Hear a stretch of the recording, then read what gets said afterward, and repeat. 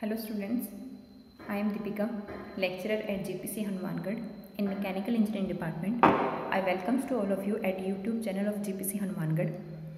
Thermodynamics की lecture series को आगे बढ़ाते हैं। लास्ट लेक्चर में हमने कवर किए थे।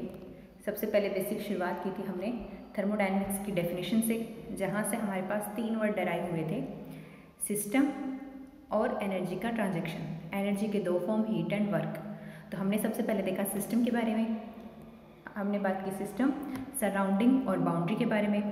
फिर सिस्टम के हमने तीन बताए टाइप जिसमें हमने बताया open system close system and isolated system तीनों की डेफिनेशन और एग्ज़ाम्पल समझे थे उसके बाद नेक्स्ट हमने बात की थी प्रॉपर्टीज़ की। सिस्टम की करेक्टरिस्टिक को डिफाइन करने के लिए यूज़ में आती हैं प्रॉपर्टीज़ फिर हमने बताए थे कि प्रॉपर्टीज़ की दो टाइप हैं। एक है इंटेंसिव प्रॉपर्टी और दूसरी है एक्सटेंसिव प्रॉपर्टी डिफरेंस इतना है एक्सटेंसिव मास पे डिपेंड करती है इंटेंसिव प्रॉपर्टी मास पे डिपेंड नहीं करती है। फिर एक पर्टिकुलर जो प्रॉपर्टी डिफाइन करती है फिक्स वैल्यू के साथ, वो डिफाइन करती है सिस्टम की स्टेट को। जब स्टेट किसी सिस्टम की सराउंडिंग के साथ कांस्टेंट हो जाए, उसको बोलते हैं इक्विलिब्रियम फ़ेज़ थर्मोडाइनमिक इक्विलिब्रियम होने के लिए हमने बताया था, चार कंडीशन होनी चाहिए। मैकेनिकल इक्विलिब्रियम में होना चाहिए फ़ेज़ इक्विलिब्रियम में होना चाहिए केमिकल इक्विलिब्रियम में होना चाहिए, और लास्ट में थर्मल इक्विलिब्रियम में भी होना चाहिए। फिर हमने बात करेंगे आज प्रोसेस की। यहाँ तक हमारा पार्ट कंप्लीट हो गया था। हमने स्टेट को डिफाइन कर दिया था। जब सिस्टम की स्टेट चेंज होती है, एक स्टेट से दूसरी स्टेट पे जब सिस्टम पहुँचता है तो वो कहलाता है पाथ जिससे वो पहुँचा, वो कहलाता है पाथ और वो पाथ अगर स्पेसिफाइड हो जाए, उसको बोलते हैं प्रोसेस तो नेक्स्ट हमने सारे इक्विलिब्रियम पढ़े थे। फिर हमने कुछ परफेक्ट गैसेस के बारे में पढ़ा था। एब्सोल्यूट ज़ीरो टेम्परेचर क्या है? स्पेसिफिक हीट क्या है? जूल्स लो क्या है? नेक्स्ट हम बात करते हैं कुछ लॉज की। प्रोसेस में जाने से पहले हम देखते हैं परफेक्ट गैस कौन कौन से लॉज को फॉलो करती है। जैसे पहला लॉ आता है बॉयल्स लॉ जो क्या कहता है? The absolute pressure of a given mass of perfect gas varies inversely as its volume when of the temperature remain constant Boyle's law ये कहता है कि हमने पर्टिकुलर एक मास का कांस्टेंट मास का एक गैस ले लिया हमने। उस गैस का हमें क्या रखना है? टेम्परेचर कॉन्स्टेंट करना है। उसका फिक्स क्या है? टेम्परेचर है। तो ये बताते हैं कि अगर हम उसका प्रेशर बढ़ा रहे हैं टेम्परेचर रखना है कॉन्स्टेंट अगर हम प्रेशर को चेंज कराएँ तो प्रेशर को अगर बढ़ाएँगे तो वॉल्यूम कम होगा और प्रेशर को कम करेंगे तो वॉल्यूम बढ़ेगा। हमें एक इक्वेशन पता है परफेक्ट गैसेस की इक्वेशन होती है P V equals to M R T या P V equals to N R T जो हम आगे पढ़ेंगे, जहाँ से आर होता है गैस कॉन्स्टेंट जिसमें एक आता है करेक्टरिस्टिक गैस कांस्टेंट और सेकंड आता है यूनिवर्सल गैस कांस्टेंट जो हम आगे पढ़ेंगे। फ़िलहाल के लिए इतना ही ध्यान रखना है कि यहाँ पे टेम्परेचर कांस्टेंट है तो P और V दोनों एक दूसरे के इन्वर्सली प्रपोर्शन होंगे। और इक्वेशन क्या निकल के आएगी? P V equals to constant या टेम्परेचर जहाँ क्या है? कॉन्स्टेंट तो कॉन्स्टेंट जब टेम्परेचर रखना हो तो प्रेशर वॉल्यूम का रिलेशन इन्वर्सली प्रोपोर्शनल का होता है। ये थ्योरी दी थी बॉयल्स ने, इसलिए इसको बोलते हैं बॉयल्स लो सेकेंड लो है Charles law the volume of a given mass of a perfect gas varies directly as its absolute temperature when the pressure remains constant same एक इक्वेशन है P V equals to T जैसा हमने equation पढ़ी P V equals to या P V directly proportional to T ये एक equation है. अब जो लो पढ़ते हैं, वो तीनों को चेंज करवा के पढ़ते हैं. एक लो कहता है टेम्परेचर को कांस्टेंट रखो दूसरा कहेगा प्रेशर को कांस्टेंट रखो थर्ड कहेगा वॉल्यूम को कांस्टेंट रखो। और P V equals to T से जिसको भी कांस्टेंट करना है, उसको एलिमिनेट करके हमारी इक्वेशन बन जाएगी। जैसे चार्ल्स लो कहता है प्रेशर कांस्टेंट रखना है तो पी वी बराबर टी है प्रेशर को हटा दो, क्योंकि प्रेशर कांस्टेंट है। तो V upon T equals to constant और वी और टी का आपस में रिलेशन कैसा होगा, कि वी डायरेक्टली प्रपोर्शनल है टी के। टी है यहाँ पे टेम्परेचर वी है यहाँ पे वॉल्यूम यानी अगर सिस्टम का वॉल्यूम बढ़ा रहे हैं तो टेम्परेचर भी बढ़ेगा।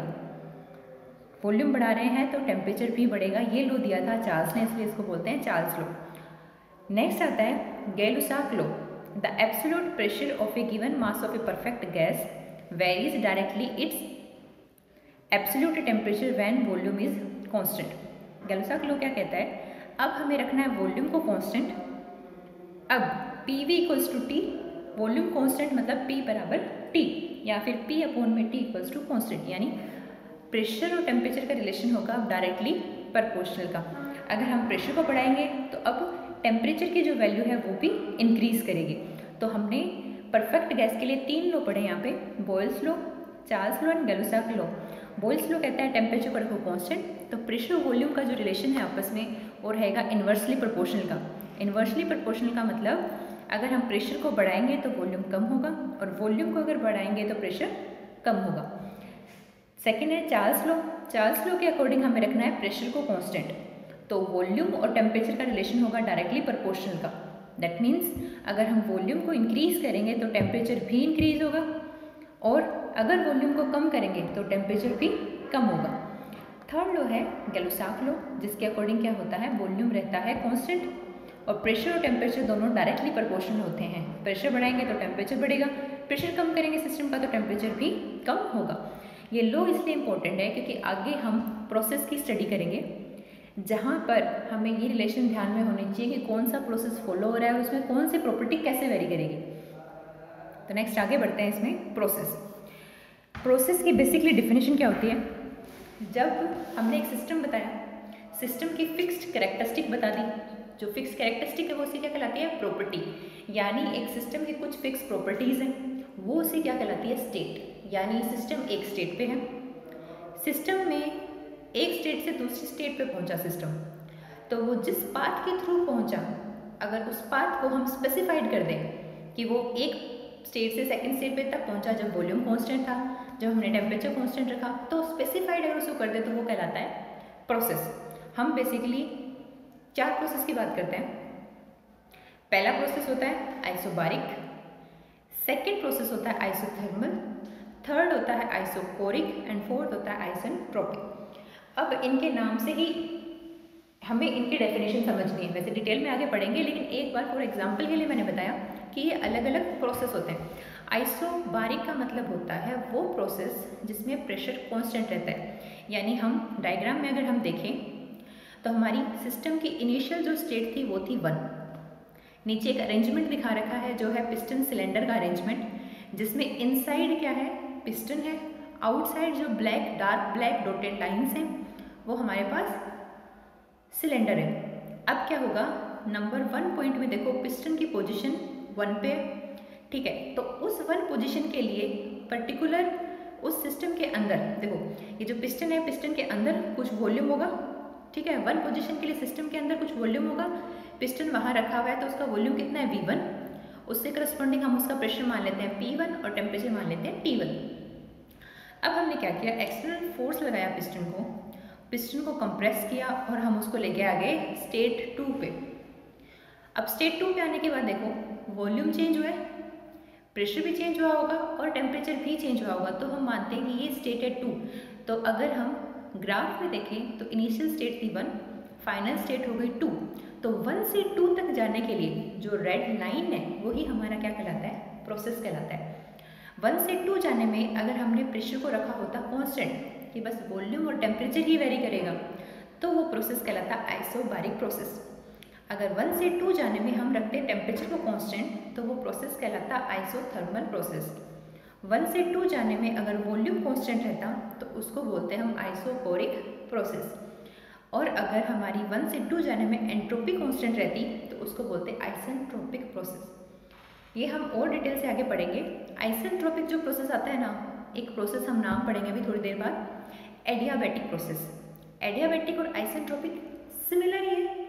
सिर्फ़ फ़र्क इतना है, जब एडियाबेटिक प्रोसेस रिवर्सिबल होता है, तब उसको हम आइसेंट्रोपिक कहते हैं। तो हम, ये हम डिटेल से आगे पूरा पढ़ेंगे कि रिवर्सिबल क्या है इरिवर्सिबल क्या है, पर फ़िलहाल के लिए इतना ही ध्यान रखो, मैं जो पॉइंट यहाँ रखना चाह रही हूँ वो ये है। आइसो बारिक से मेरा मतलब होगा प्रेशर कांस्टेंट आइसोथर्मल से मेरा मीनिंग होगा टेम्परेचर कांस्टेंट आइसोकोरिक से मतलब होगा constant volume process and isentropic से मतलब एंट्रोपी रहेगी कांस्टेंट तो ये हमने बेसिक प्रोसेस पढ़े। अब आइसो वर्ड जहाँ पर भी आता है, उसका मतलब होता है पर्टिकुलर जो भी प्रॉपर्टी की बात करेंगे वो रहेगी constant the prefix iso is often use to designate a process for which a for which a particular property remains constant iso word जहाँ पर भी यूज़ आ जाएगा, उसका मतलब ये है कि वो एक कॉन्स्टेंट चीज़ को रिप्रेजेंट कर रहा है।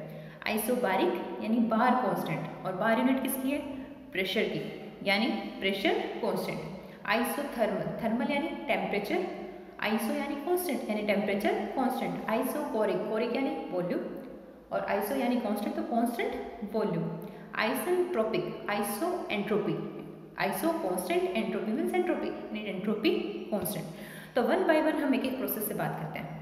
सबसे पहले बात करते हैं आइसोबारिक प्रोसेस या जिसको हम बोल सकते हैं constant pressure process a process during which the process P remain constant अब साथ साथ में हम ग्राफ ड्रॉ करना भी सीखेंगे। ठीक है? ये ग्राफ ज़रूरी नहीं है प्रेशर और वॉल्यूम के बीच ही हो। ये ग्राफ ज़रूरी नहीं है प्रेशर और टेम्परेचर के बीच ही हो। ये प्रेशर वॉल्यूम के बीच भी हो सकता है प्रेशर टेम्परेचर के बीच भी हो सकता है वॉल्यूम टेम्परेचर के बीच भी हो सकता है। पर इसका जो बेसिक कंसेप्ट है, सिर्फ़ वही हमें ध्यान रखना है ताकि हम सारे डायग्राम ड्रॉ कर सकें। तो सबसे पहले आइसोबारिक जो प्रोसेस है, उसमें प्रेशर रहता है कांस्टेंट ठीक है? तो अब प्रेशर कॉन्स्टेंट है तो वॉल्यूम और टेम्परेचर में रिलेशन क्या होगा? वॉल्यूम टेम्परेचर के डायरेक्टली प्रोपोर्शनल होगा। ठीक है? यानी इस डायग्राम में हम देखें तो हमने एक स्टेट बनाई इनिशियल आई, जहाँ पर प्रेशर कितना है? पी आई, वॉल्यूम कितना है? V I. फिर ये स्टेट टू पे जो पहुँच रही है, जिसको हमने एफ़ से डिनोट किया है, फाइनल स्टेट, वहाँ पर प्रेशर कितना है? पी एफ़, वॉल्यूम कितना है? V F. यानी आई से एफ़ तक जाने में अगर हम डायग्राम में देखें तो हमारा प्रेशर रह रहा है कॉन्स्टेंट यानी एक स्ट्रेट लाइन ड्रो होगी। प्रेशर कॉन्स्टेंट है। वन से टू में जाने पे प्रेशर जितना पी आई पे था, उतना ही प्रेशर पी एफ़ पे रहेगा। तो हमें मैथमेटिक्स से ये चीज़ पता है कि अगर एक्स और वाई के बीच में ग्राफ है और एक्स अगर कॉन्स्टेंट है तो ग्राफ में लाइन कैसी आएगी? हॉरिजॉन्टल अगर वर्टिकल एक्सेस पे एक्स है तो एक्स की हमें कॉन्स्टेंट लाइन ड्रॉ करनी है तो आएगी हॉरिजॉन्टल वाई को कांस्टेंट दिखाना है तो लाइन आएगी वर्टिकल सेम इसमें अगर प्रेशर कांस्टेंट है तो लाइन आएगी हॉरिजॉन्टल वॉल्यूम कांस्टेंट है तो लाइन आएगी वर्टिकल तो यहाँ पर जो लाइन ग्रीन कलर में दिखाई गई है, वो बता रही है constant pressure constant pressure process को. तो यहाँ पर हम जा रहे हैं जब इनिशियल से फाइनल तो वॉल्यूम बढ़ रहा है. तो वॉल्यूम बढ़ रहा है तो सेम थिंग यहाँ पे टेम्परेचर क्या हुआ होगा? बड़ा होगा. अब हम कोई सा भी डायग्राम ड्रॉ कर सकते हैं, क्योंकि हमें पता है प्रेशर कांस्टेंट है, वॉल्यूम बढ़ रहा है और टेम्परेचर भी बढ़ेगा। प्रेशर कांस्टेंट है, वॉल्यूम को कम कर रहे हैं तो टेम्परेचर भी कम होगा। ठीक है तो आइसोबारिक प्रोसेस के लिए हमें याद रखना है, प्रेशर रहता है कॉन्स्टेंट वॉल्यूम को बढ़ाएँगे तो टेम्परेचर बढ़ेगा, वॉल्यूम को कम करेंगे तो टेम्परेचर कम होगा। ये तीन पॉइंट है किसके लिए? आइसोबारिक प्रोसेस के लिए। प्रेशर कांस्टेंट, वॉल्यूम को बढ़ाएँगे, टेम्परेचर बढ़ेगा, वॉल्यूम को कम करेंगे तो टेम्परेचर कम होगा। जो तीन लो पड़े थे हमने स्टार्टिंग में पोयल्स लो चार्ल्स लो एंड गैलोशक लो ये प्रोसेस सारे के सारे उन तीनों लो को फॉलो करते हैं। उन तीनों लो में से किसी एक ने कहा था प्रेशर कॉन्स्टेंट है। तो वॉल्यूम बढ़ेगा तो टेम्परेचर भी बढ़ेगा और टेम्परेचर कम होगा तो वॉल्यूम भी कम होगा। तो ये रिलेशन है इन दोनों के बीच में कि वॉल्यूम और टेम्परेचर डायरेक्टली एक दूसरे के प्रपोर्शनल होंगे। तो ये फ़र्स्ट प्रोसेस हो गया। सेकेंड प्रोसेस की हम बात करते हैं आइसोकोरिक आइसोकोरिक प्रोसेस का मतलब क्या है? या दूसरा जिसका नाम है आइसोमेट्रिक यानी आइसो कांस्टेंट कोरिक वॉल्यूम तो वॉल्यूम क्या रहेगा? कॉन्स्टेंट तो अगर वॉल्यूम कांस्टेंट है तो प्रेशर और टेम्परेचर का रिलेशन कैसा होगा? डायरेक्टली प्रोपोर्शनल का. सेम आइसोबारिक की तरह ही आइसोकोरिक में क्या होगा? वॉल्यूम कांस्टेंट प्रेशर और टेम्परेचर एक दूसरे के डायरेक्टली प्रोपोर्शनल होंगे. यानी अगर प्रेशर बढ़ रहा होगा तो टेम्परेचर बढ़ेगा. प्रेशर कम हो रहा होगा तो टेम्परेचर कम होगा. अब सेम यहाँ पर हम पीवी डायग्राम ड्रॉ करते हैं. तो पीवी डायग्राम में अब हमें क्या पता है? अब प्रेशर कांस्टेंट नहीं है, अब वॉल्यूम कांस्टेंट है तो लाइन आएगी वर्टिकल। तो ये नीचे वाला जो पॉइंट है, वो इनिशियल स्टेट को दिखा रहा है, ऊपर वाला पॉइंट फाइनल स्टेट को दिखा रहा है। तो इनिशियल से फाइनल पे हम कांस्टेंट वॉल्यूम से पहुँच रहे हैं, इसलिए कैसी लाइन ड्रॉ कर दी हमने? Vertical line. प्रेशर बढ़ रहा है तो टेम्परेचर भी बढ़ रहा होगा। इसको एक डायग्राम से भी रिप्रेजेंट किया है, जिसमें हमने एक बीकर लिया, जिसका वॉल्यूम कुछ लिया हमने वी ठीक है? जिसको ऊपर से क्या लगा हुआ है? पिस्टन लगा हुआ है। ठीक है? पिस्टन हमने इसलिए ऊपर की साइड इसलिए लगाया है कि हमें इसका कॉन्स्टेंट वॉल्यूम वी मेंटेन करके रखना है। ठीक है? अब हमने क्या किया? इसकी हीटिंग करनी शुरू की। सबसे पहले बिफोर हीटिंग वॉल्यूम वी है आफ्टर हीटिंग भी इसका वॉल्यूम वी है। तो इसमें क्या होगा? एनर्जी आएगी टेम्परेचर बढ़ेगा। तो यहाँ पर प्रेशर भी इंक्रीज होगा। नेक्स्ट प्रोसेस आता है isothermal process isothermal iso means constant thermal यानी कि टेम्परेचर यानी कि ऐसा प्रोसेस जिसके लिए टेम्परेचर की वैल्यू रहे constant a process during which the temperature T remains constant अगर टेम्परेचर टी कॉन्स्टेंट है तो प्रेशर और वॉल्यूम के बीच जो रिलेशन है, वो होगा रेसिप्रोकल का. यानी अगर सिस्टम का प्रेशर बढ़ रहा होगा तो वॉल्यूम कम होगा. और अगर प्रेशर कम हो रहा होगा तो वॉल्यूम बढ़ेगा. तो इसमें हमने टेम्परेचर और वॉल्यूम के बीच में ग्राफ ड्रॉ किया है. तो अगर टेम्परेचर कॉन्स्टेंट है तो हॉरिजॉन्टल लाइन आएगी. वॉल्यूम बढ़ेगा तो प्रेशर कम हो रहा होगा और वॉल्यूम कम हो रहा होगा तो प्रेशर बढ़ेगा। तो ये तीन प्रोसेस देखे हमने आइसोबारिक आइसोकोरिक एंड आइसोथर्मल तीनों में सिर्फ़ तीनों प्रॉपर्टीज़ का वेरिएशन ध्यान रखना है। एक प्रॉपर्टी कांस्टेंट है तो बाकी दो के बीच में क्या रिलेशन है? वो डायरेक्टली प्रोपोर्शनल है या इनवर्सली प्रोपोर्शनल है? डायरेक्टली प्रोपोर्शनल का मतलब है, अगर एक प्रॉपर्टी बढ़ रही है तो दूसरी भी बढ़ेगी। इनवर्सली प्रोपोर्शनल का मतलब है, एक बढ़ रही है तो दूसरी उसका रिवर्स फॉलो करेगी, यानी वो कम होगी। तो रिवर्स वाला रिलेशन सिर्फ़ आइसोथर्मल प्रोसेस के लिए आता है, बाकी सब में डायरेक्टली प्रोपोर्शनल का रिलेशन है। नेक्स्ट इसमें आगे बात करते हैं। कुछ और प्रोसेस देखते हैं। बेसिक जो प्रोसेस होते हैं वो थे, वो तीन। अब एक होता है साइक्लिक प्रोसेस हमने क्या बताया कि हम स्टेट वन से स्टेट टू पे पहुँचे। ठीक है, हमने क्या किया? एक पाथ फॉलो किया। ठीक है? उस पाथ को अगर हम स्पेसिफाइड कर दें तो वो क्या कहलाता है? प्रोसेस कहलाता है। साइक्लिक प्रोसेस क्या कहता है? जब इनिशियल स्टेट और फाइनल स्टेट एक ही पॉइंट पे हो, जैसे कि डायग्राम में दिख रहा है वन एंड टू यानी हम बहुत सारे पार्ट से होते हुए गुजरे, लेकिन इनिशियल और फाइनल स्टेट हमारी सेम ही है तो उसको बोलते हैं cyclic process when a system in a given initial state goes through various process and finally return to its initial state. The system has undergone a cyclic process और cyclic cyclic process ना बोल के इसको cycle भी बोल सकते हैं केवल। जैसे हम पढ़ेंगे Otto cycle diesel cycle IC engine में हम पढ़ेंगे Otto cycle diesel cycle dual cycle Atkinson cycle तो साइकिल वर्ड का मीनिंग क्या है? जहाँ पर स्टार्टिंग की स्टेट और फाइनल स्टेट एक ही पॉइंट पे हो। हो सकता है उन दोनों के में बहुत सारे प्रोसेस हो। चार प्रोसेस हैं, पाँच हैं, छः हैं, तीन हैं। लेकिन जितने भी प्रोसेस से वो गुजरे फाइनल स्टेट उसकी इनिशियल स्टेट पर ही होगी। मतलब जहाँ से हमने शुरुआत की थी सिस्टम की, जहाँ उसकी प्रॉपर्टी थी P one V one T one अलग अलग स्टेट में उसको लेके चले जाओ, लेकिन फाइनल उसकी स्टेट आएगी P one V one T one जहाँ से शुरू किया था, वापस सिस्टम वहीं पे लौट आए, उसको बोलते हैं साइक्लिक प्रोसेस या साइकिल अब दो टर्म। एक है रिवर्सिबल प्रोसेस एक है इरिवर्सिबल प्रोसेस ठीक है? रिवर्सिबल प्रोसेस का मतलब क्या है? बेसिकली पहले इसको हम लोकल लैंग्वेज में समझते हैं, ताकि कोई डाउट दिमाग में ना रहे। ठीक है? रिवर्सिबल का सिंपल मीनिंग ये है कि हम एक स्टेट है वन एक स्टेट है two for example state one से हम चले, हम स्टेट टू पे पहुँच गए। ठीक है? स्टेट वन पे सिस्टम के पास कुछ प्रॉपर्टीज़ थी। स्टेट टू पे पहुँच के उसकी प्रॉपर्टीज़ चेंज हो गई। फिर स्टेट टू से हम वापस स्टेट वन पर आए और हमने वापस वही प्रॉपर्टीज़ रिगेन कर ली जिससे हमने शुरुआत की थी। यानी पॉइंट वन पे मेरी प्रॉपर्टी सिस्टम की प्रॉपर्टीज़ थी P one V one T one point two पर पहुँच के हो गई P two V two T two वापस सिस्टम स्टेट वन पे आ जाए और उसकी प्रॉपर्टी हो जाए P one V one T one यानी हम किसी प्रोसेस को रिवर्स डायरेक्शन में फ्लो करवा रहे हैं। रिवर्स मतलब पहले वन से टू गए फिर टू से वन ही आ रहे हैं। तो सिस्टम अगर वापस अपनी ओरिजिनल पोजीशन को वापस वैसे का वैसा ही रिगेन कर ले, वापस वैसे का वैसा ही अचीव कर ले, उसको बोलते हैं रिवर्सिबल प्रोसेस जैसे कि it is defined as a process that once having a take place it can be reversed in doing so it leaves no change in the system और बाउंड्री सिंपल मीनिंग है इसमें ना तो energy का कोई loss हो रहा है, ना ही एनर्जी का कोई गेन हो रहा है। सिस्टम और सराउंडिंग की जो प्रॉपर्टीज़ है वो रिमेन वैसे ही वैसे ही हमें वापस मिल जाती है। उसको बोलते हैं रिवर्सिबल प्रोसेस ठीक है? फॉर एग्ज़ाम्पल हमें गाड़ी पार्क करनी है, ठीक है? हमने एक पार्किंग लोट है, वहाँ पे, वहाँ से हमने गाड़ी बाहर निकाली और फिर हम उसको वापस वैसे का वैसा ही वहाँ पे पार्क करना चाहते हैं, ठीक है? तो गाड़ी को जिस पोजीशन से हमने हटाया था सेम उसी पोजीशन पे वापस खड़े करना है।